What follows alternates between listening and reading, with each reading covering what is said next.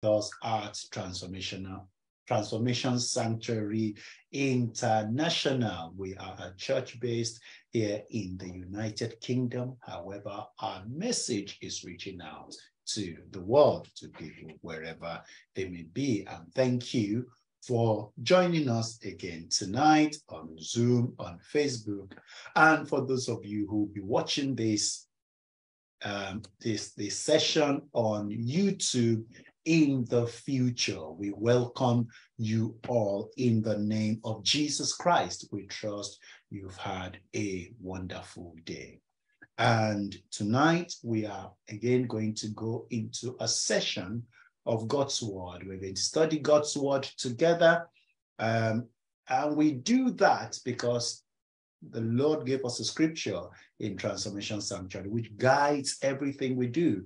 And that is Second Corinthians chapter 3, verse 18. He says, But we all, with unveiled face, beholding as in a mirror the glory of the Lord, are being transformed into the same image from glory to glory, just as by the Spirit of the Lord. So we look into his word so that we are transformed from glory to glory. So I trust God that by the time this study finishes tonight, you will take a step closer to your glory in the name of Jesus Christ. Amen. We will start with a word or prayer by my co-pilot, if I should be a proper co-pilot tonight, a proper co-pilot tonight.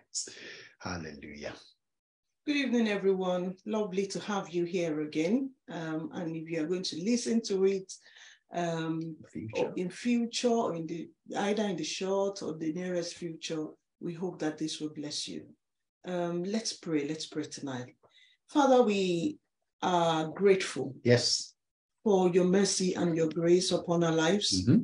We do not take it for granted that week in, week out, we come here to be blessed by you, to learn from you. To learn from Lord, we pray as we come tonight again, May you enlighten us in, in, your word. Amen. May you open our hearts to that which we need to see. Amen. Especially as we learn about you. Mm. You, you are Father. Yes. You are the standard. Yes. You are the epitome of everything we should desire to be. Yes. Lord. We pray as we hear your word tonight again. May transform us. Amen. May we be more and more like you. Amen. In the name of Jesus. Amen. And we thank you, Father, because a day will come ah. when we will see you face to face oh, yes, in Lord. eternity. Amen. Giving glory to you. Yes, Lord. Being happy knowing you. Yes, Lord. Being happy that you are Father. Yes, Lord. And worshiping you day and night. Yes, Lord. We look forward to such a day. Hallelujah. And we pray that we'll all be part of it. Amen. In Jesus' name. Amen. Amen. Amen. Amen. Thank you for that wonderful prayer. And it is sessions like this, it is studying God's word, which makes us more and more like him, which makes us more and more like him. There are other things we do in church which are for our own benefits. Um, but studying God's word transforms us mm. and makes us more like him. And that's the ultimate, the ultimate goal of every believer is to be like Jesus. Amen. That's our ultimate goal. That should be the ultimate goal. The ultimate goal is not riches. The ultimate goal is not wealth. The ultimate goal is not what we can acquire. The ultimate goal is to be like Christ, to be like Jesus, to be like Jesus. Okay, so tonight we're going to continue with a line of study we started three weeks ago, but slightly different. Um, we started three weeks ago to look at what people call anthropomorphism, which is giving human attributes to inanimate objects, to animals, to spirits, and as it relates to Bible study, specifically to God. So that's what we started three weeks ago. And we looked at that and we looked at different scriptures. God rested. God was sorry. God rejoiced. All kinds of things we looked at. And we said God showed us all of that, although He is spirit. Let's be clear about that. John 4 24. God is spirit. And that came from Jesus. So no qualms about it. God is spirit. And although he is spirit, he shows us all those attributes to allow us know how to live our lives as humans. Because if he can do it, then it means we can also we can also do it. And we've seen all of that. And also so that we don't beat ourselves up when things don't go our way. We, we find, found times when things didn't go God's way. And we saw how he responded to that. He was hurt to his heart. He was sorry. He regretted. And even when he was punishing, he relented. It was like, okay, that's enough. Remember when David counted the census mm. in Israel? Towards the end of David's life, when he did the census and he counted the people, one book said the Lord was angry with Israel. Another book said Satan moved David against Israel. Anyways, David counted the people, which he shouldn't have done. And then he started feeling sorry for his action. And then God sent him a prophet and said, You have sinned. And because you have sinned, I am giving you three options for punishment. You know, it's interesting, isn't it? When we come to God, we ask Him for things we need. Yeah. We ask for mercy because we have sinned. Mm-hmm. If you ever got a message from God saying, I got three punishments for you, choose one of them. What on earth will you do hmm. with that kind of message? And that was what happened to David. Guys, there are levels in our relationship with God. Mm. Levels. God came to man and said, You sinned, I'm going to punish you. So there's no, Lord, I'm sorry, Lord, I'm sorry, Lord, I'm sorry. No, no, no. Three punishments, choose one. Mm. Same with Moses. Moses struck the rock, and God said, You ain't entering the promised land. And Moses begged. Look, Moses had done this on behalf of people a thousand times, and God answered. Moses begged for himself. And what did God say to Moses? God said, Well, you you've missed it. He said, Don't mention this matter to me again. Hmm. What? There are levels. And yet, the same God will bury Moses and nobody will know where he is born. The only man whose grave was dug by God, who was placed in a coffin by God. God knows what kind of coffin, coffin, he puts him in. You never can tell God can create a coffin like that. Gold coffin, glass, eh, whatever, diamond. And God buried him. You think God would have just have thrown him into the earth like that? No. Because his, his soul had already gone to God. That was what mattered his soul to God. Had, anyway. So that was what mattered to God. So why did God take it upon himself to bury him? So that people won't turn him into a little God, want to be worshipped. Anyway, God loved him so much, God buried him, but God denied him that request and all of that. Anyways, where are we going with all of this? We studied God's attributes as a human. Now, tonight, we'll try to round this up if we're able to finish what we're doing tonight. Otherwise, we'll continue next. We'll continue next week. And tonight, what we want to study is God's bodily structure and what that means for us. God's, we were trying to find a title yesterday and what's like God's anatomy? I was like, oh, no, no, no, no, no, that's going too far. we can't go into that. no. But God's bodily structure. Bodily, body like. Body like structure. Because we've said he's a spirit. Because we've said he's a spirit here. God's body like structures. And by that, we mean his head, my head, my shoulder, my knees, my toes, you know, hands, face, eyes, nose, eyes, nose, ears, like the five shoulder, senses, back. shoulder, back, chest, feet, feet, and all of that. And what those things mean for us, what those things mean for us. Let me ask you a question. Um, if somebody sees you, consider these three scenarios and consider how your reaction may be different in these three scenarios. Three people see you at three different times on the road. You're walking on the road. And the first person says, Excuse me, excuse me. Think about what your reaction would be. One, yeah. Second one says, Excuse me, um, Vicky.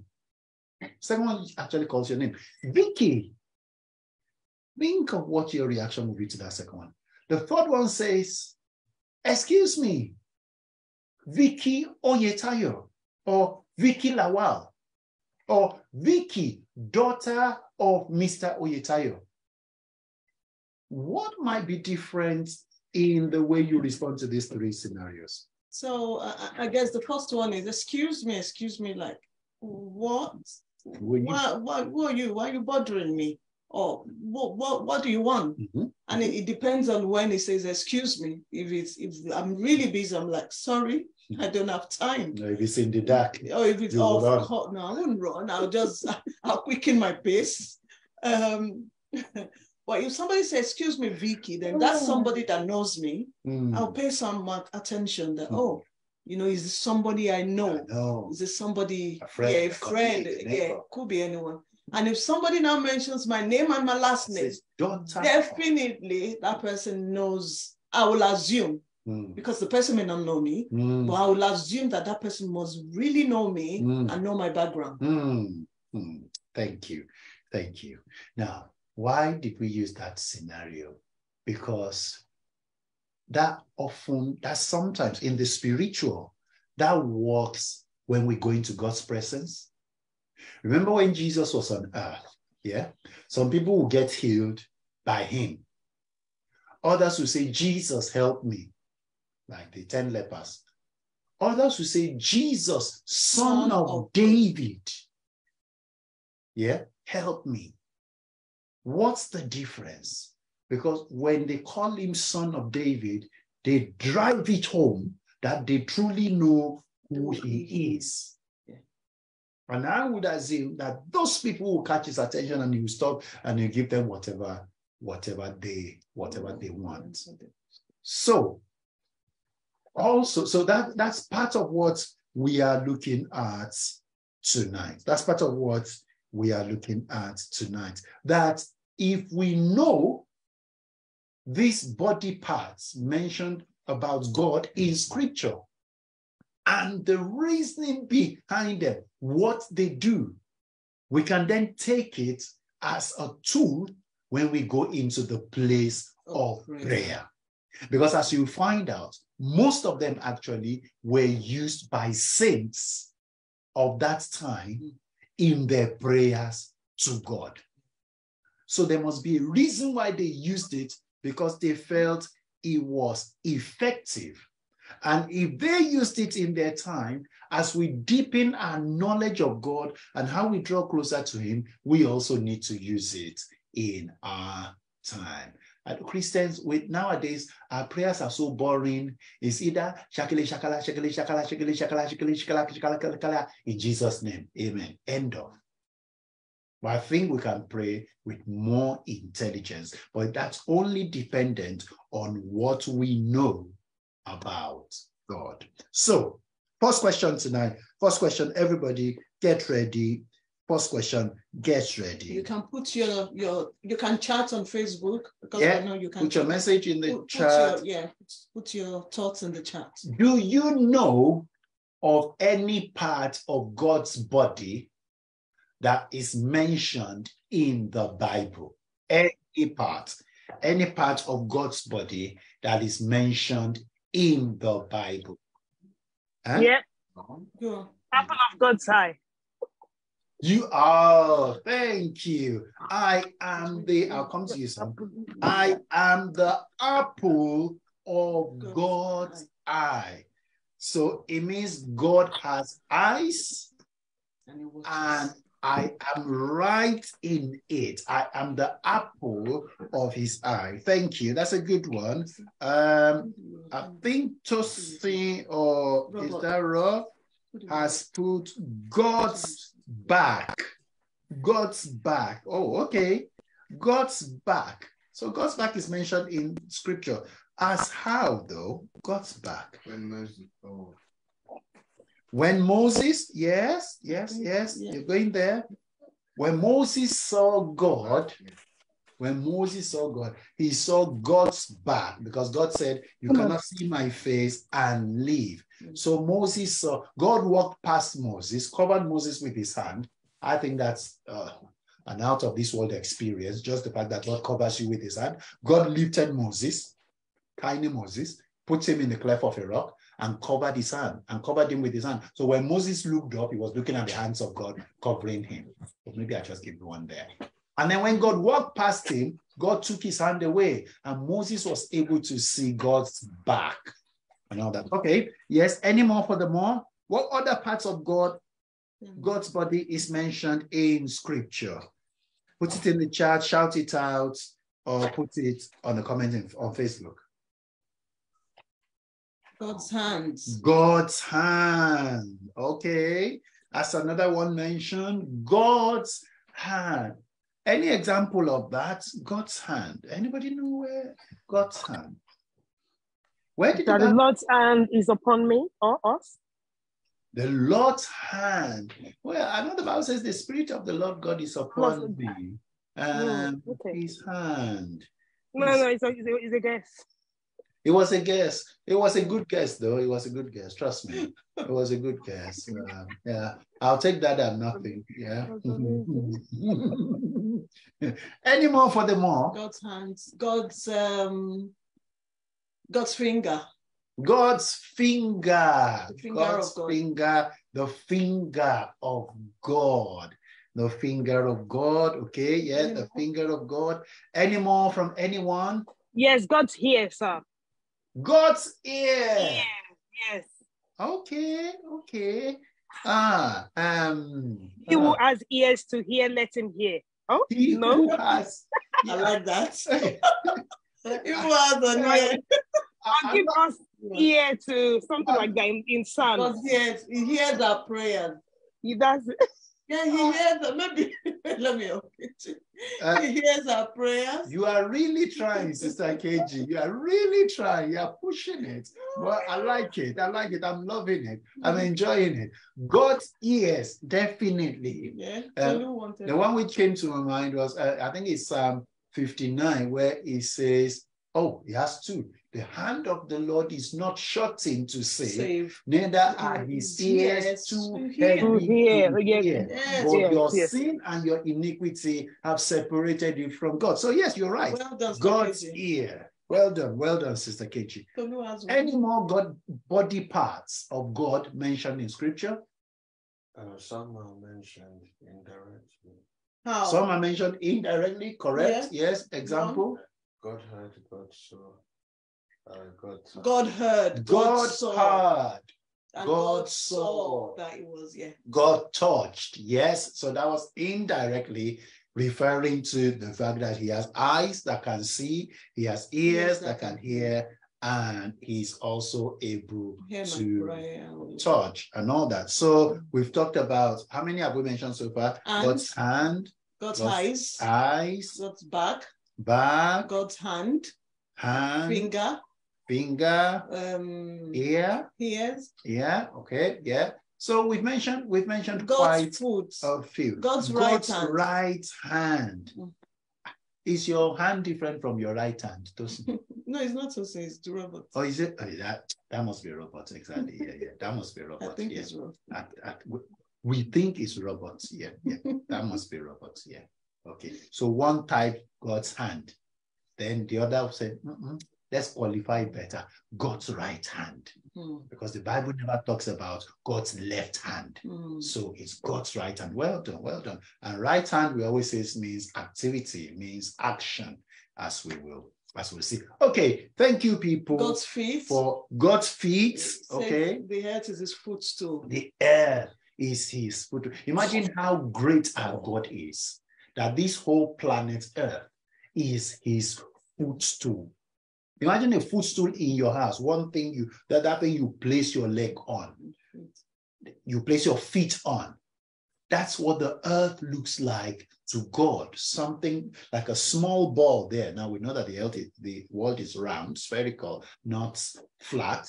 So it's just like a ball there, which he just places his feet on. That's how great our God is. And that tells me that his throne alone is bigger than the earth. Because the chair you sit on is always bigger than the stool you, you place your, your feet on. on. So just yeah. his chair, just his throne, his throne alone, God's throne. Think about it. This is the God you pray to to answer your prayers. Think about it. His throne alone is bigger than the whole earth. How awesome. How awesome. God's throne. Uh, Sakeji, do you have something else to say? Um, I was, I was going to say God's heart, sir. God's heart. Well done. Well done. Yes, yes, the Bible talks clearly. The Bible talks about God's heart. God's heart. My heart yearns within me. Uh, I'm, I'm, testing it now. I'm no, no, no, it's not that I'm one. testing it myself. yeah. Um, surely I have found a man so my own, after my own, own heart. Yes, yes, yes. We got there in the end. God's heart. God's heart. Thank you. Thank you. So we pretty much mentioned most of the body parts of God as we found in scripture. It relates to human. Now, what we're going to do next is we're now going to go into scripture because we've got scriptures for each of these body parts. In fact, on some of them, it means different things. And we're going to God's mouth. Thank you. Thank you. God's mouth. As mentioned in scripture. Do you know, do you know a scripture about God's My mouth has declared. I don't know. I'm, I'm, I'm being, I'm doing like, it's, push, it's pushing it down. My mouth my mouth has declared it. I think so. Yeah, I think it's so, like that. My mouth uh, that which has I, gone out of, my, my, mouth, yes, um, will fulfill what is said. That yes, yes, yes, and it will not return to me void. And it will not return to me void. Exactly. And then um, Deuteronomy chapter eight, verse two, he suffered thee to hunger, that thou mayest know that man shall not live by bread alone, but by every word that proceeds out of the mouth of God. Mouth of God. Well Thank you, Sister Christian. How did we miss that? How did we forget that? God's mouth, God's mouth, which gives us his word. So we're going to go through scripture. And for each of these parts, we'll find the different meanings scripture ascribes to them because they're not all the same different meanings. There's some parts, in fact, you'll get to one, you'll be surprised to see that one can be positive and negative at the same time. Yeah. A lot of them are positive, so that's good. And like I said, that's to aid us in our in our prayers and to aid our knowledge so that we can pray more mm. intelligently. Okay. No, no, no, no, sorry. Ha. I thought you cannot use that one. ah, then the Lord opened the mouth of the donkey. That's that, that's donkey. That's not the one I'm looking for. Ah, okay, let's just be clear. All right. Okay. So we're going to take this in turns. We'll read a scripture and then somebody will tell us what that part means, what it does for us, and then we'll confirm whether that's true or not. Do you want to start us off? Yes, so we can start with God's um, what we've been able to establish. We we establish a, a, lot of things: God's hand, God's arm, and all of that. And let's start with the the hand or the arm of God. Okay. So it's either the hand, the whole hand, or yeah. the arm, the arm of God. And we know that the arm of God is the sovereign power, right, in creation and his actions and uh, on behalf of on behalf of people, especially in redemption. God's hand is always in God's hands. It's like is is a it's like a symbol of authority, a symbol which God rescues his people. Yeah, and is an instrument of creation, like we know. Can can we look at Isaiah chapter 48? Isaiah 48. Isaiah 48, Isaiah 48 and from verse verse 13 Isaiah 48, verse 13. Let's have a look. Some, do you want to put it up? It says, so we read it. It says, I'll read it and then we ask. So it says, Indeed, my hand has laid the foundation of the earth, Mm, and my right hand has stretched out the heavens. mm. When I call to them, they stand up together. Right. So what, what's God's hand doing here, people? Let's let's sorry, laying, the, foundation, of the earth. of the earth, Mm. creating the earth. So we can see that God's hand there was the instrument of creation. Creation, yes. His hand created the heavens. And you, you know what came to my mind now? You know when a potter, you know Yes. God a potter. Yeah, yeah, yeah. You are molding the clay. So the hand, and, and it's the same thing that God has given us to use our hands to create. To create. To create. That's true. So so he says, and he says, and I stretch them out uh, when I call to them, and they stand up together. Mm. So this one here shows that God's right hand is used to God's hand is used to create, and as well as his right hand, like um, Robert mentioned earlier, Yeah. that is right is right hand. So, So it's interesting, isn't it? His hand created the earth, earth his right right hand stretched out the heavens. So the heavens and the earth were created by God's hand. In other places, you find God's word. In other places, you find God's breath. So it just means that the whole of God created the heavens and the earth. Okay, thanks for that. I'll take the next scripture, um, Exodus 7 5. So, do you wanted to say something? Exodus 7 5. Exodus 7. Exodus Sorry. chapter 7, verse 5. Okay. What did the hand of the Lord do here?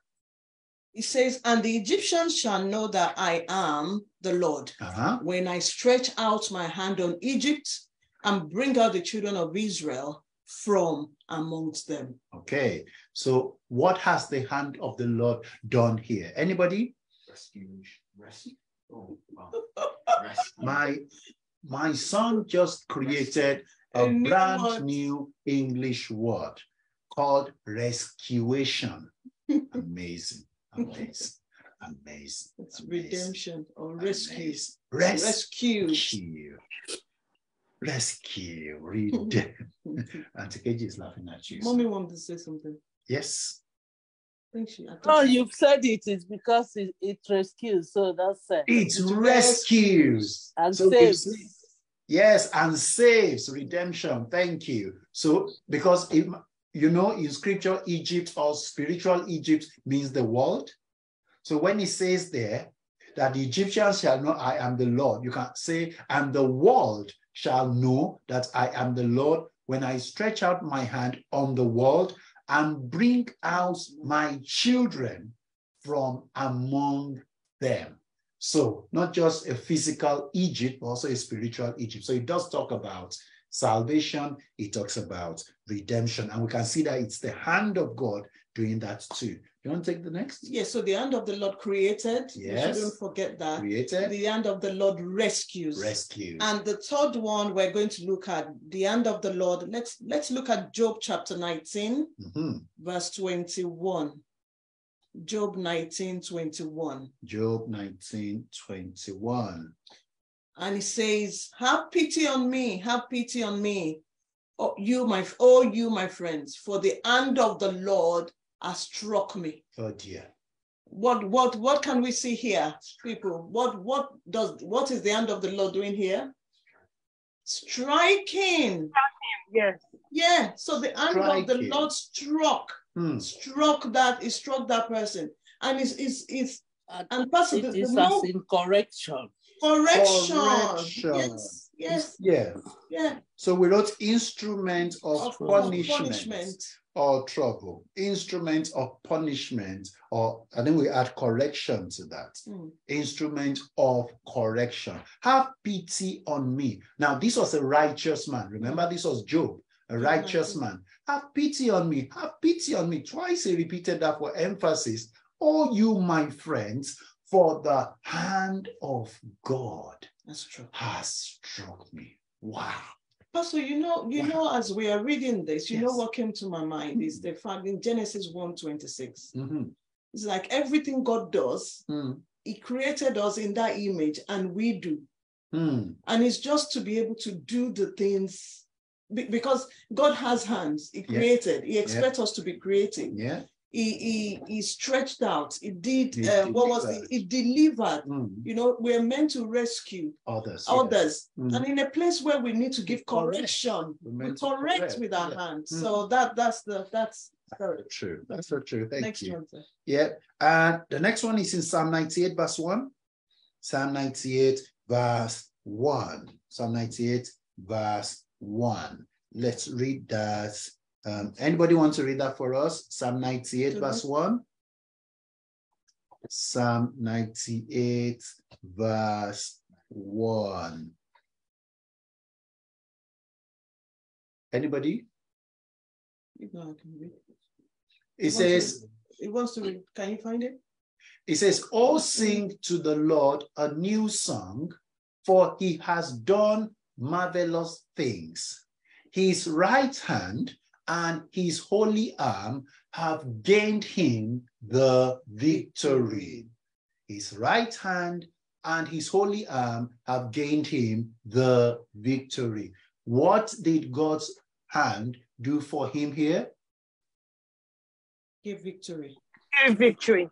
He gave victory. So if we also have hands, what will God do for us through our own hands too? Do we get victory? We get victory. He will give us victory. So God's hand gave him victory. God's hand gave him victory. Okay. Um, let's go to Ezekiel 1 3. Ezekiel 1 3. Ezekiel. Ezekiel chapter 1, verse 3. Ezekiel chapter 1, verse 3. Ezekiel 1, 3. Um, Word of the Lord came expressly and says, Ezekiel. Yeah, keep reading. Go on. Yeah. Oh, sorry. Excuse me. Um, sorry. The word of the Lord came expressly to Ezekiel the priest, the son of Buzi, in the land of the Chaldeans by the river Chebar, and the hand of the Lord was upon him there. Hmm. okay. This is in a roundabout way one. But what did the hand of the Lord do for him there? What, what, what did the hand upon- of the Lord do there? The hands of the Lord was upon him. Yes. No, hold on. Yeah. Were you looking for a word like he protected him?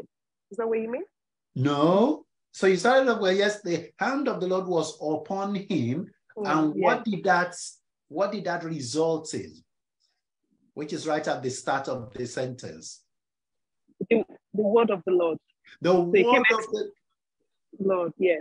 So it came exactly, expressly to him. Yeah, okay. exactly. Because the hand of the Lord was upon him, the word of the Lord right. came expressly Expressly. to him. So it's an instrument of revelation. So we've said the hand of the Lord is an instrument of creation, instrument of deliverance, instrument of correction, instrument of victory, instrument of revelation. And um, we've got a few more like instrument of success, instrument of protection, and I added one this evening, instrument of authority. Instrument of authority. So these are eight things Mm-hmm. out of many, Out of many. out of many, which the Bible says mm-hmm. the hand of the Lord represents. So if you are praying for success or victory, what should you be praying? Or revelation, Lord, let your right hand rest upon me. Rest upon me. Amen. If you are praying for deliverance, Lord, lay your right hand upon me. Upon me. Yes. If you are praying for success, victory, if you are praying, if, if you want to create something, maybe you, you are thinking of a business idea, you want to create something unique in your own generation, and that what business should I go to? You can say, Lord, lay your hands upon me Your for revelation and for for creation the victory. and victory, of course. You know, there's always a prayer we pray for people in the hospital. We're like, Lord, as doctors go to them, lay your hands, may the hands of the doctors become the hand of God. Hmm. God. Because when God lays his hand upon you, you get healed, Yes. you know? May the hands of the doctors become the hands of God so that as they touch you, As they touch that person, that person becomes. So we can see so many benefits of knowing what the hand of the Lord can do. And when we pray, we then pray specifically for these things. Okay. Moving on because of time, that's probably the one that is most extensive. The others are shorter. So um, we'll move on to the next one. What's the next one, darling? So the next one is the finger of God. The finger, finger of God. Of yeah. God. Yeah. And, and, and like we said that the, the, the, the hand of God re represents authority, represents power. So is the finger of God, mm. you know, and it does, it does, it did so many things. We could say the finger of God did this, the finger of God. And even for the the, a few things that happened, like the Ten Commandments, giving of the Ten Commandments, you know, it was the finger of God that did it. And, you know, yesterday when we were talking about this, and I thought, so the finger of God wrote all of those Ten Commandments and delivered it unto Moses. But I'm going ahead of myself here. Let's read Deuteronomy chapter 9. Deuteronomy chapter 9, verse, verse 10. Hmm. Deuteronomy 9, verse 10. As we are to, as, as we turn there, you know what came to my mind, sir? When you said, you know, that the throne of God mm. is bigger than his footstool. Yeah. So really, the finger of God is ah. just, you know, it's it's it's it's how how awesome. Yeah. How awesome the finger of God will be. be. And you know, like somebody once said, he said, God is so big that the earth is his footstool, and yet he dwells in, in our hearts. Yeah. How? How can a God so great, mm. whose throne alone is larger than the earth, then dwell in our hearts as human beings? It's a privilege. It's a privilege. Deuteronomy chapter 9, 9 verse 10. Verse 10. I'll read. Then it says, Then the Lord to me two tablets of stone written with the finger of God. Wow. And on them were all the words which the Lord had spoken to you on the mountain from the midst of the fire in the day of the assembly. Hmm. Pastor, you, you, you, know what I see here? Mm-hmm. Apart from the fact that those two tablets, you, Moses was on that mountain for 40 days. For 40 days. So does it mean that everything God spoke? He said, and the words mm. which the Lord had spoken to you. So which means in that initial 10 commandments, mm. it was more than 10 commandments. Yeah, yeah, yeah, of course you know yeah so it says the finger of god yeah. wrote it yeah and yeah. it's just so amazing that what the finger of god could oh, do god right on a on a what on a tablet, on a tablet of stone, of stone. Mm. on a mm. tablet of stone mm. that's so true so the finger of god the finger of god wrote um, the Ten Commandments, like you said, and more, yeah. and delivered it to Moses. Okay, so what else has the finger of God done? What else? Uh, it takes record. Ah, wow, thank you. Uh, we were looking for a way of summarizing that. The finger of God takes record. You know, I was going to go into the scripture now. Everything you see in Exodus chapter 19, Exodus chapter 20, and on, there were things that God spoke but here we learn that he did not only speak it, but he also wrote it. So we know where Exodus 19, 20 comes from. And as he applies to us, the finger of God takes record. God is recording everything we are doing in his book. He is recording all that we're doing. That's why we can't just do things willy nilly. We've got to be careful what we what we do. Okay, look at Luke, Luke chapter 11, verse 20. Luke 11, verse 20. Now we know Jesus was God on earth, God in human flesh. We know that was who Jesus was. And this is what Jesus had to say about himself as it relates to this. Luke 11, verse 20. Please read. If I cast out demons with the finger of God, mm. surely the kingdom of God has come upon you. Right. What did the finger of God do here? Hmm. Anyone? Drive out the demons. Cast out demons. demons. The finger of God casts out demons. So before you lay your hands on anybody, I better pray, Lord, turn my fingers into the finger of God. Mm. May my hand become the hands of God. Mm. And then it is not you casting out the devils, it is the finger of God. So it represents again power and authority over the over spiritual forces. Mm. The finger of God represents power and authority over spiritual forces. Jesus said, If I by the finger of God, Mm. finger of God, cast out demons. Can you imagine how many evil spirits there are? And yet, just by God's finger alone, He sends them packing. Hmm. That's how great that, that's how great our God is. And I think that relates to the next one, which is Exodus 18. 8, 18 to 19. Exodus 8, 18 to 19. Exodus 8, 18 to 19. Uh-huh. Yes, please. It says, Now the magicians so worked with their enchantments to bring forth, forth lies, Mhm. But they could not. They could not. Yeah. Okay. So there were lies on man and beast. okay. Then the magician said to Pharaoh, Uh-huh. This is the finger of God. Wow. But Pharaoh's heart grew hard, and he did not heed them, just as the Lord had said. Right. Okay. So- So, what did the finger of God do here? Performing quote unquote magic. I like that.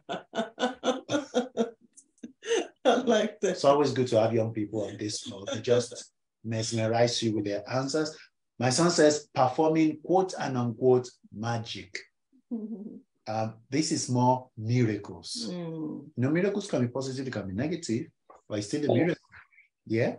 Because the magicians could not do it. The magicians God could not did do it. it, Yeah. but God did it. And the it lies was also on the magician. You know, anything God did before, they copied, but this time God wanted to punish them, so they couldn't produce lies. And the lies which affected people affected them, and they said to Pharaoh, This is the finger of God.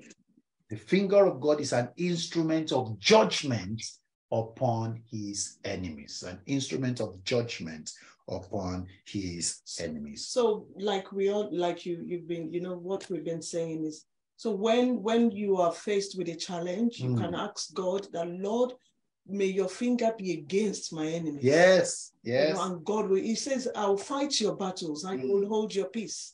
So we can ask God, Lord, may your finger, like you did in this, Mm. in this, um, to the to the children of to, to the Major in Egypt, to the magicians, may your fingers be upon my enemies. Mm. So yeah. Yes, thank you. Over his enemies. Okay, thank you for that. So let's go to the next one then. That's that's all that's all we're able to find out about the finger of the Lord. Now, before we check these next scriptures, let me just ask, let's let's just ask this question. The face of the Lord. Think about a human face. Or your face. Um, I'm just saying your face. my face. yeah, you said human. Yeah. Okay. I don't want them to think about my own face. Okay, all right. Oh no, think about her own face. Her face is beautiful. Her face is. And think about her face. Not well, don't think about my face. Think about her face. So think, think about a human face, yeah. Think about the expressions that come from the face. Just think, think about the expression. Now, before we start going into scripture, what do we think the face of God would then represent? The face of God. What do you think that will represent? You just, I think you, I, when when you say, I don't know, this is just when you were saying the face of the number one, I it's my mind just went straight to the face of the Lord shines upon me. Uh-huh. Yes. And and then when you think about human being, human being are funny. When you look at someone's face, it could be anything. Dirty look, I fancy you, you look nice.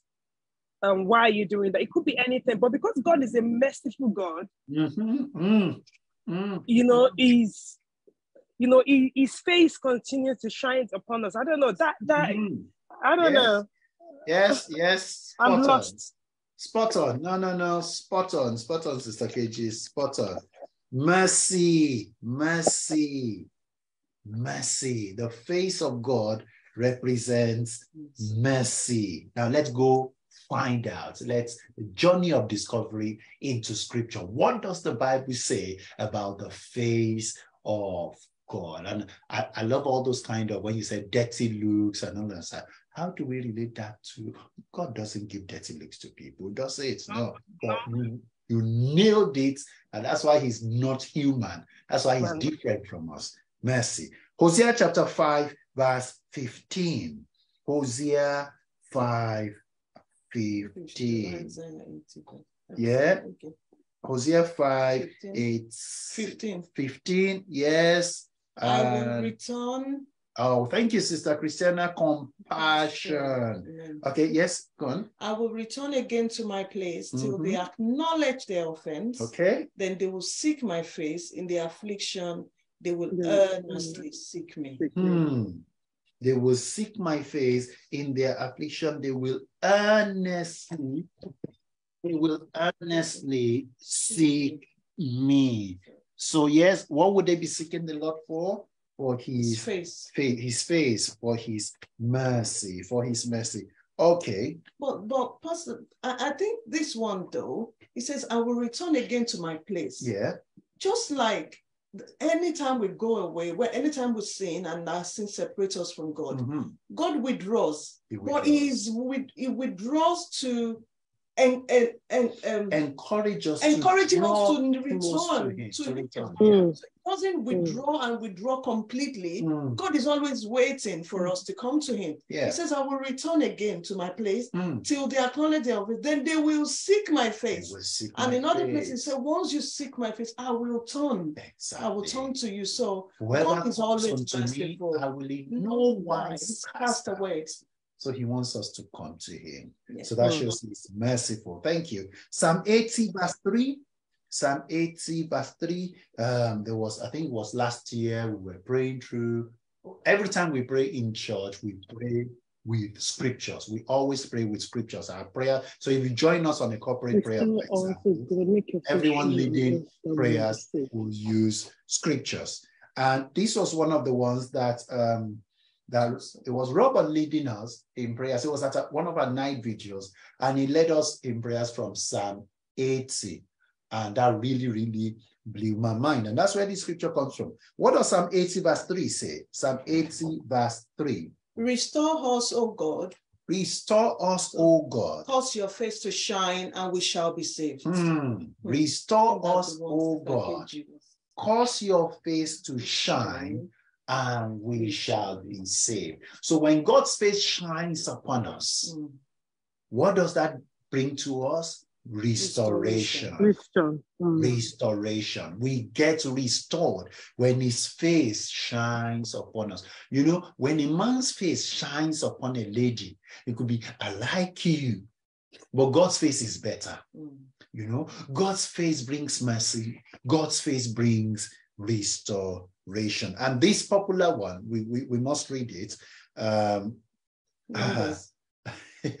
okay, uh, we've got the comments there. Let's quickly go. God can give a dirty look, um, for example, to builders of the Tower of Babel, Nebuchadnezzar, and Herod and Pharaoh.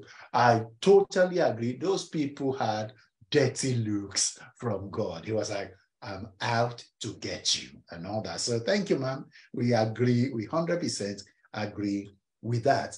This scripture is popular. If I sent it to somebody whose birthday, who had a birthday yesterday. Numbers chapter 6, verse 24 Oh. to 25. It's Oh. called the priestly Priestly prayer. blessing, the priestly prayer. God Himself instructed Moses that this is how Aaron should pray for the people. And some churches at the end of their service will declare this on themselves before they leave. And what does he say? He says, The Lord bless you and keep you. Number 6, 24 to 25. The Lord bless you and keep you. The Lord make his face shine upon you and be gracious to you. The Lord lift up his countenance, still talking about his face, lift up his countenance upon you and give you peace. Wow, wow. Awesome way to end the service.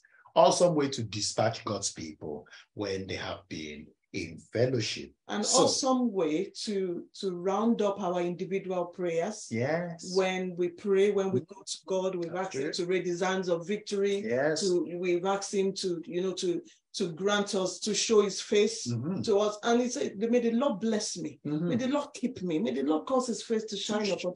I think it's a it's a good um, scripture that we can memorize, yes, and yes, you know we say to ourselves, to ourselves. he has a love he has a lot of said the lord be gracious to you it's it's and then the lord lift up his countenance and all of it all of the all of those individual blessings Mhm. talks about favor. Yes, it's just favor. favor, yeah. Favor. So we've seen his mercy, we've seen his restoration, we've seen his favor, all in his face. So you can go to God and say, Lord, me, instead of saying, Lord, grant me favor, Lord, grant me mercy, Lord, grant me restoration. That's the prayer of a baby Christian.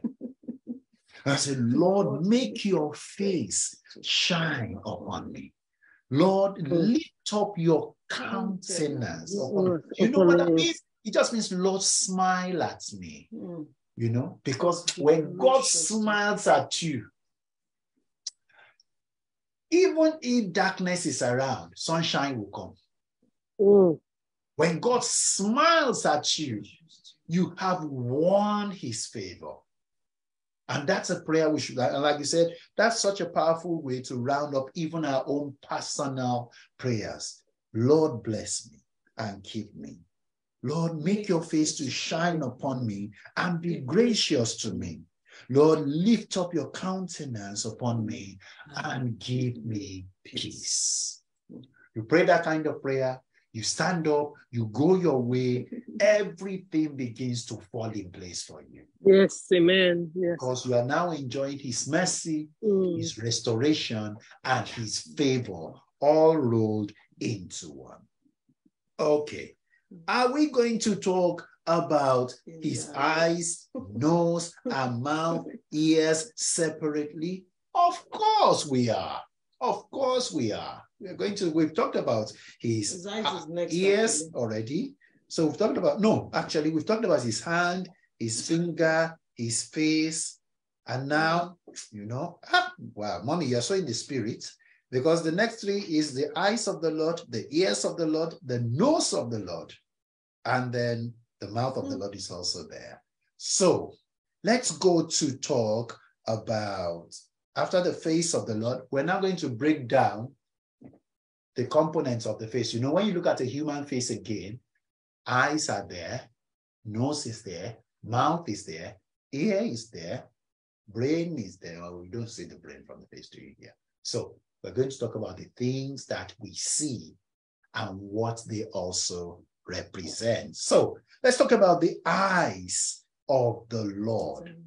The eyes of the Lord. Does anyone know a scripture that talks about the eyes of the Lord or what the eyes of the Lord may represent? I use the word may because it might be different for you. You might have a different inspiration in terms of the eyes of the Lord. What do we think the eyes of the Lord represent? Sister Keji quoted the scripture, I am the apple of God's eye. You might think of that or another scripture. What does the eyes of the Lord represent? And do you know a scripture or any other scripture that talks about the eyes of the Lord? Anybody? Uh, for the, excuse me, I don't want to. For the eyes of the Lord, mm, I'm trying to It's think. upon the righteous. From the eye on the righteous, and his ears are attentive to their prayers. For Well the face of the Lord, something like that. Yeah. Spot on. Spot on. First Peter 3:12. Spot That's it. Thank you. First Peter 3 12. For the eyes of the Lord are on the righteous. The righteous, righteous and, and his his ears ears. are open. Psalm to 33 18. yes. Psalm 33, verse 18. Okay. What does it say? Let's check. Let's check. Psalm 33, verse 18. We'll come back Surely, to. Go on. surely the eyes of the Lord are on those who fear him. Wow. Second Chronicles 16 9. Well, For the eyes of the Lord roam, roam to and fro over all the earth mm. to show himself strong. Thank on you. behalf of them whose heart is, yeah. yeah. Loyal. And, yeah, Proverb 15 3. The eyes of the Lord are in every place, observing the evil and mm. good people. Wow. Wow. In the eyes of the Lord, Proverbs 15 3. Yes, Proverbs no, 15, no, 33 18. No, there's, there's Proverbs 15 3 first, yes. and then there's Proverbs 33 18. Job 34 21. See, I mean, I'm writing Job 34, Job 34 21. Please read. Job 34 21. Job 34 21. We've not read that. Let's see what he says. He says, For his eyes are on the ways of man, hmm. and he sees all his steps. Wow. Hmm. His eyes are on the ways of man, and he sees. He's frozen. Sorry? Uh, we... he, he, he said he's frozen in her are place. We, are, are, we, frozen? frozen? No, we are, we are not. Okay, We've been doing that all, all over for a long time in my place. Uh, Psalm 34 15 say, God watches over the righteous and answers their cry for help. Amen. He delivers the righteous from their troubles and draws near to them. Did you say Psalm 34 15, ma'am? Yes. Yes. Yeah, okay. Okay, Psalm 34, verse 15. So what then, having read all of these scriptures, what then does the eyes of the Lord represent to us as a people, as, as saints? So the, the, the, eyes of the Lord, we can see that he watches over. It's like God so one, watches over. He says his eyes are on the righteous. Yes. His eyes run to and fro. Mm-hmm. So I, you know, and it, his eyes doesn't just look at the righteous. He sees everything. So even when the righteous go astray, the Lord can see mm-hmm. and all that. So his right, his eyes are all over. And he says here in that first Peter 3 12, he says, But the face of the Lord is against those who do evil. Mm. So we can see that though his eyes are on the righteous yeah. who are doing his will, but when it comes, when he look at evil people, then his, his, his eyes is not favorable towards them. That's true. Yeah. So the eyes of the Lord talks about the help and support yeah. available to us as believers. The help and support available to us as believers. God's eyes monitor. So I, I, love that. One of my favorite scriptures, all times, all time favorite, is Second Chronicles chapter 16, verse 9. For the eyes of the Lord run to and through the whole earth. So yes, we know he sees all things according to Job. But why? To show himself strong on behalf of those who ha- whose heart is loyal to him. To show himself strong. You know what? God is scanning the earth to find solutions to your problems. When you pray to him, he sends out his scanners. Boom, boom, boom, boom. Where would that solution come from? Oh, that person is on, in Australia. They need to travel to the UK and all that, and they need to come to Raynham and all that so they can meet with Vincent and solve his problem. That's what the eyes of the Lord does. Where you cannot get to, the eyes of the Lord goes there and brings the solution to where you are. He says, oh. run to and fro through the whole earth to show himself strong, oh, oh, to show that he is able to deliver, to show that he's able to provide help, to show that he's able to provide support, security, security, security. Yeah. exactly, to his children. But we also know that his eyes are out there also to punish those who are doing if, if we, yes, if we if we only mention the eye of the Lord today, we can we may have to stop there. Yes. because there are so many. Of so many. Hebrews 4:13 says, and there is no creature hidden from his sight. Mm. But mm. all things are open and laid bare to the eyes of him to whom we must answer. We must answer. Jeremiah is still the same. It says, Jeremiah 16, 17, My eyes are on all their ways, they are not hidden from my face, Hmm. nor is their wrong wrongdoing concealed from my eyes. So There's so God many scriptures talking Hmm. about the eyes of He the Lord. sees everything. Yeah. And for the righteous, he provides help and support. For the wicked, he either punishes or corrects immediately, or he stores what he has seen against the day of judgment. That's what the eyes of the Lord does. Yes, ma'am. So I guess the question for me is, so the eyes of the Lord sees everything. Yes. So which means where he says in Habakkuk, I think it's in Habakkuk 113, Yes. That God is of purer eye Hmm. than to behold iniquity. Yes. He says, I cannot look upon wickedness. Hmm. So which means if the even though the eyes of the Lord is over all and especially on the righteous, trying to show himself strong on our behalf, Mhm. once we go into sin, Ah. it shows that God, God's eyes, Ah, even though he's taking are off us. us, Hmm. Hmm. because if he's saying he's The of a scanner stops working. eyes to behold iniquity, Yes. God knows, yes, that my son is there, but I can't Mhm. behold him because you know it's just like somebody closing his eyes, Yeah. and you know that that person is there, but because it's of a purer eyes Hmm. than to behold that iniquity, Yeah. that eye is taking us from us momentarily That's true. until we come back to him. Oh, correct. Ever so correct. And I'll back that up by a scenario in scripture. Psalm 22, and then, of course, Matthew, Mark, Luke. I don't think it's in John. Remember what Jesus said on the cross? My Father, my Father, why have you forsaken me? Me. Why did he say that? Because on the cross, he became sin Hmm. for us, according to Romans. He became sin for us who knew no sin. He who knew no sin became sin for us, that we might become the righteousness of God in Christ Jesus. When Christ became sin for us, God had to turn his eyes away because his eyes are too pure to behold sin. And for the first time in all eternity, remember, Jesus and God had been in existence before the world was created. For the first time in all eternity, there was a separation between the Father and the Son.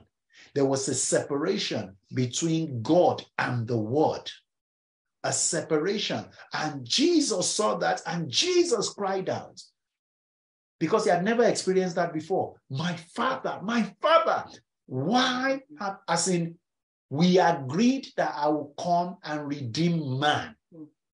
Why would you forsake me now? But God cannot break his principle. He had to look away. Habakkuk chapter 1, verse 13. You have purer eyes than to behold evil and cannot look on wickedness. God had to turn away. And like you said, when we then dabble into sin, the eyes that is on us to provide help and support turns away. That's why I always say it is for our benefit when God says, Be holy. It's for our, it's not for his benefit. He is holy already. It's for our benefit because his eyes turns away. It creates opportunity for the enemy to attack us. It creates opportunity for our prayers not to be answered. There's just so much to lose when we dabble into sin. So, yes, so many things we can learn from the eyes of Lord. Thank you for all the other scriptures you have given, which we didn't even have in our notes, but which we have duly, duly recorded, which we have duly recorded. Okay, that's the eyes of the Lord. Should we, should we take the nose? I think we've mentioned some of the no, the ears, ears. isn't it? No, no, oh no, we still need to take this um, of the Lord. The ears of because that also represents different things actually. The ears of the Lord. What does the ear do naturally? Let's start from the natural before we go into the spiritual. Anybody? It listens. Listens for those who want to listen. The ear listens for those who I like, I like that choice. Yeah, some people you know, listen. yeah. So okay, okay. My my, my son says hear, hear, but they don't listen. What's the difference then between hearing and listening? Tolu? Um, hearing is passively observing what other um, person is saying, but uh, listening is actively um, actively taking in the information the other person. Right. Hearing is passive observance of sound. So let me make it, because I'm older than him, let me make it slightly more, you know. Hearing is a passive observance of sound. It could be what somebody is saying, it could be music, it could be, you know, just where you are right now, where you are right now, there is some noise around you which you are either hearing or ignoring, or you are not hearing at all. But they're there. And all of that. It, it happens everywhere. Listening, though, is an active observer yeah. of sound. So when somebody is talking and you are listening, that's an active observer. Is a skill. And then when you when you take that into marriage, when you take that into marriage, you start off by listening. And then when somebody says something, when your spouse says something, your partner says something, and you don't like what they've said, then you start building up your answer. You are working on your answer. And at that stop, at that point, you stop listening. Mm-hmm. You're just hearing, you stop listening because you are busy crafting your answer. So they said, uh, so you came home, you came home yesterday, you came home yesterday at 7 p.m. And, and, and when you came home, you didn't say hello. In your mind, you're like, me, so who came home? Said, I came home 6 p.m. A whole hour. So you forgot. So you are crafting that, how you're going to prove how long that you came home 6, not 7. And everything else she says or he says, huh? you are not listening anymore. You're, you're just hearing. You said why only in marriage? Any other? It could be in any other. In cl- yeah, in the class. In the class, in the class, oh, yes. and all that. In church, you know, in church. You know, one pastor, one pastor came to our church and he said, he said, guys, um, I've been advocating. This is he saying that. He said, I've been advocating that people should go back to paper Bibles you know and he said he said the reason being he said we can all access the bible on our phones and things like that he said that's good okay. he said but sometimes just as you're looking at your phone accessing that message one message just comes in yep, yep. Via whatsapp or message or something it just notification it just comes in and you stop listening mm. you start hearing you stop listening because that message has distracted, distracted you. you. Yes, definitely. Yeah. But if you were looking at a paper Bible, a notification will not come into your Bible. But you can still be distracted. Distracted, yeah. Your you mind can still be distracted, there, yeah? but it is less likely. But it's very yeah, exactly very less likely. That you will be distracted. Now, let me tell you how yeah. you can be distracted through your paper Bible. So for me, when um, when I was in church, years ago, before I became a pastor, when I'm listening to a message, when someone's preaching and I'm listening to a message, um, I am actively listening. But if something hits me, like if something drops in my spirit, until I reason that out and really, really get in, I don't hear anything else. So I just take that. Also, let me give you an example. A sister once came to church and she was into it was this time when network marketing was everywhere everyone was doing it. And then she came to church and she said praise the lord. The lord has helped me clear my debts you know all my debt i've paid it and all that. He said because what i realize is god will not come down from heaven and solve your financial problem. You need to do something yourself. Mm-hmm. Now at that time I didn't have time for network marketing or anything else. I was busy. When she said that thing, that thing hit me like a thunderbolt. And I said, But Lord, so those of us who don't have time for things like this are stuck. So unless we get a miracle, our debts will continue. So I said, Lord, prove what this sister have said, prove it wrong in my life. Everything else she said, I didn't hear. And guess what? Within a matter of three months, God sent a miracle. Without me doing network marketing, God sent a miracle which cleared my debts. And then that reinforced for me the message that yes, God can open a pathway for you to do something. But if you are truly stuck and there is no way, God can do things through other means. We can't box God into a corner or one way of doing of doing things. So the ears of the Lord, ability to hear and to listen. Any other thing the ear does? Yes, it's just um I guess those are the two. When, when, when we call on God detects. detects. Hmm. The ear detects. You know, if a blind man is in a room, his sense of hearing is heightened. Yeah. Hmm. You know, it's like dogs. Dogs can hear things that humans cannot. Hear, yeah. Because their ears are so, their sense of smell, I don't think dog, dogs have good eyes, but their sense of smell and hearing is, is like a thousand times better than that of human beings. Eagles and vultures, on the other hand, can see a fish swimming in the sea. Yeah. Now, a vulture way up like 50 miles away or whatever miles, I don't know, 50 miles away can see. A vulture will sit there hoping that some other birds will catch that fish, eat the fish and leave the bone so they can feed on it. An eagle will swoop down and pick up that fish, even though you can see it from. An eagle will go for it. That's the difference between an eagle. So yes, ear detects. Now let's see whether what's in scripture aligns with all of those things when we talk about the ears of the Lord. The yes, my words, oh Lord, consider. I love that scripture. That's where I named my son from. Okay. What, what scripture is that? Psalm 5. Psalm 5. Okay, let's verse go there. One. Let's go there. Psalm 5, verse 1. Psalm 5, verse 1. Give, what does he say? Give ear to my words, O Lord. Consider my meditation. Hmm. And, and and I think I, I, I, like this scripture because it just syncs with what we're talking about, Sakeji. And here my medit my meditation is not something I'm talking about. Yes. It's something I'm brooding over. Mm.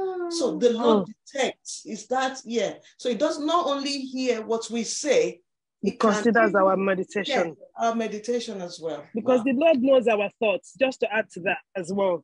So we mm-hmm. make sure that our thoughts are in line with the word of God. Thank you. Thank you for that balance, Sister Keji, because if my meditation is a prayer, or if it is in line with his will, as we'll see in a moment, in a moment, that's good, isn't it? Yeah. What happens when my meditation is some dodgy, way. some way, dodgy. Uh, on those ones, we don't want the Lord to see, but we have said that He sees everything.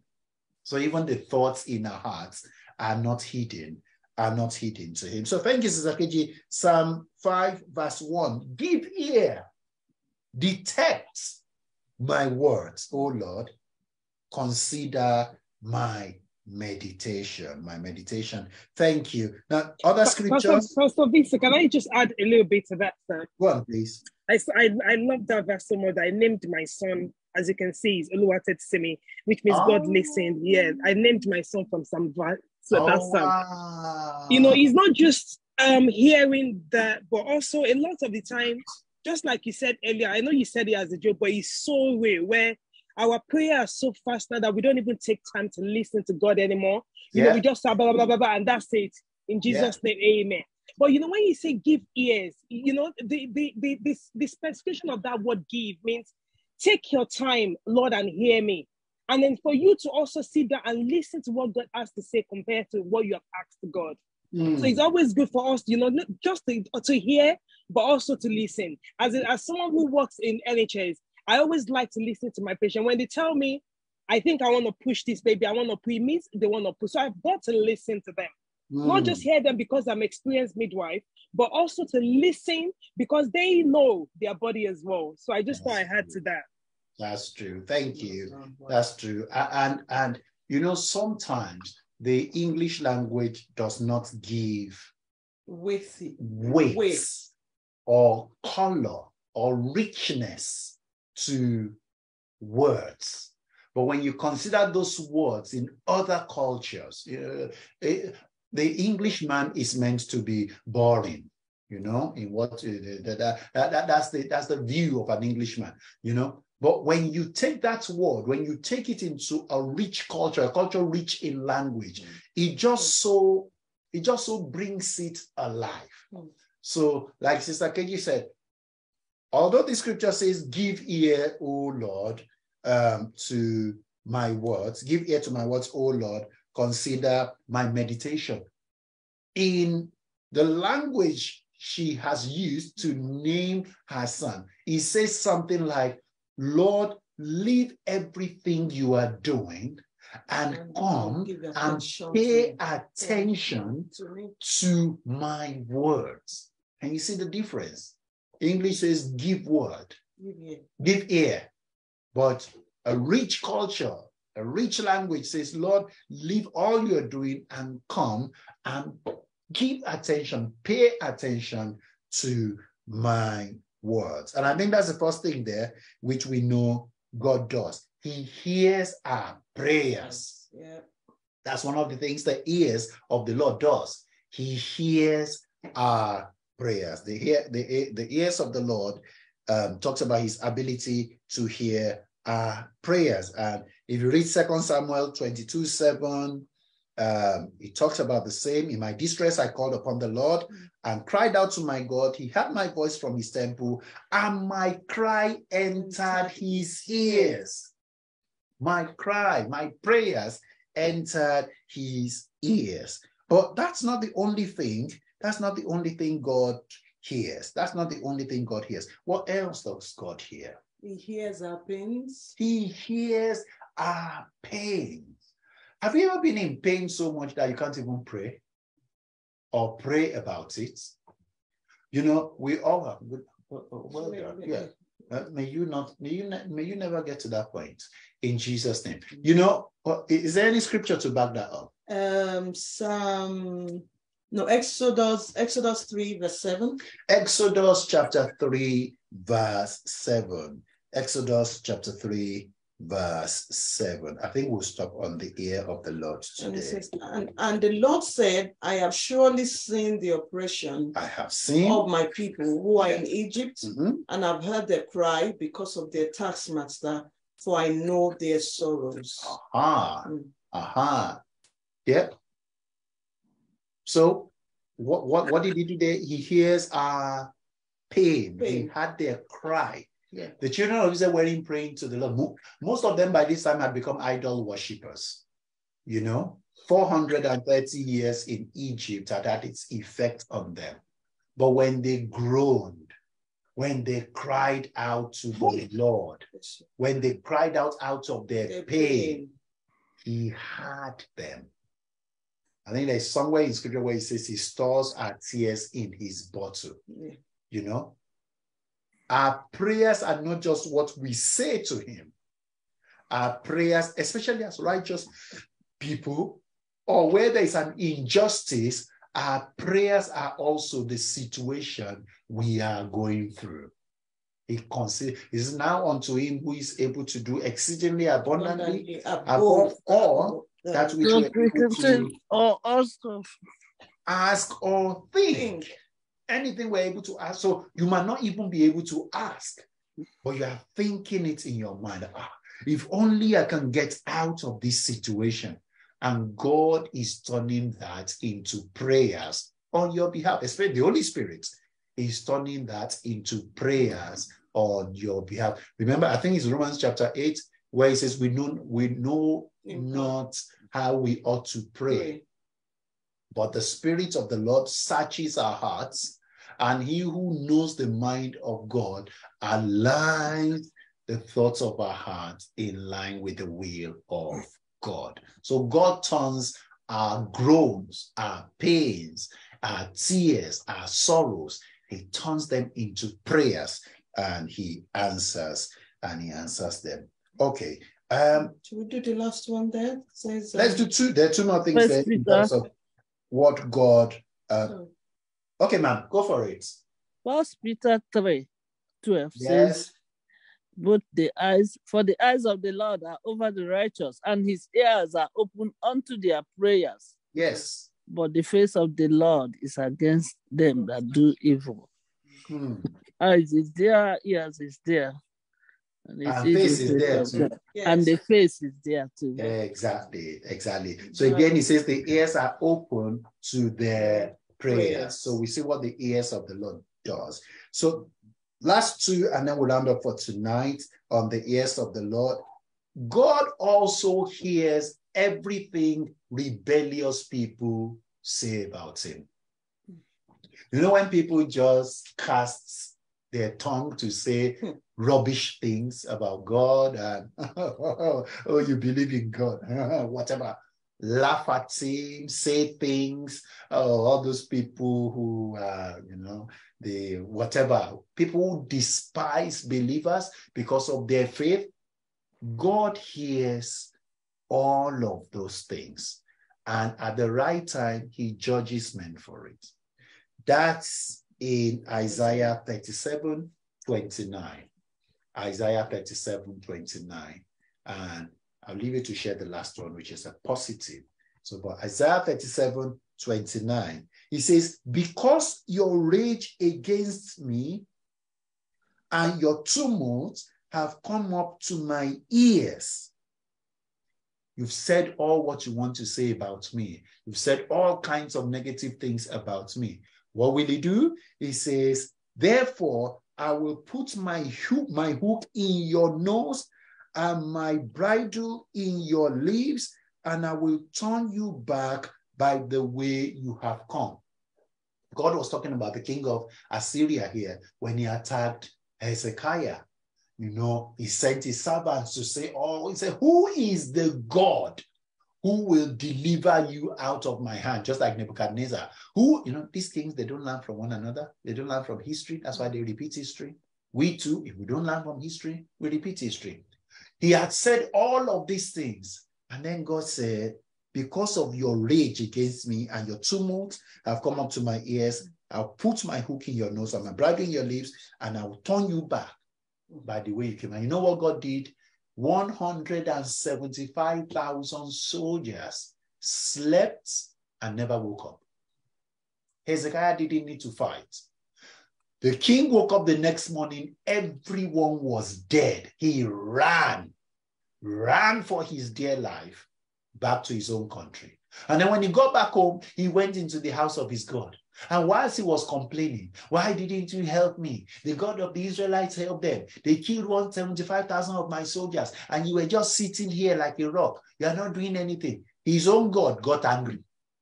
And two of his sons came in and killed him there. God listens to everything people say about him. And that's why we must be careful in terms of what we say. But this is more towards unbelievers. I can only ask God to have mercy on them.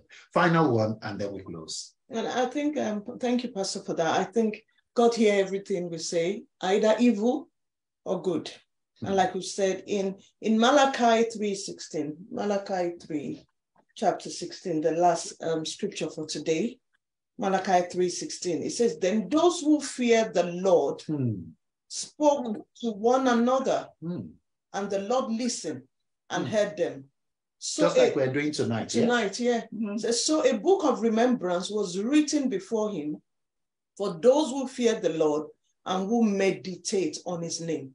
So, like we've heard that God heard what you know um, the the king said, and when he was you know reproaching the Lord, here he's saying that when we come together when we listen, when we you know talk together with mm. the Bible, we discuss the word, word of God. When we share testimonies, when we pray, when we come together, righteous people, mm. he says the Lord listened and heard them. So he didn't just hear, mm. he listened and he heard them.